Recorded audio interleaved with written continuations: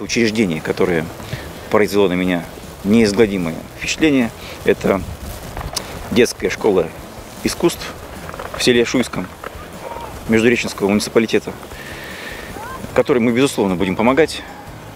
Изначально был, был план, изначально был план направить 7 миллионов рублей на ремонт э, части здания школы. Но мы, поразмыслив, приняли решение о том, что необходимо направить всю сумму, не делить ее на два года. Ремонт э, детской школы искусств в Шуйском будет завершен до конца сезона, чтобы с 1 сентября детки уже смогли снова заниматься в обновленном корпусе.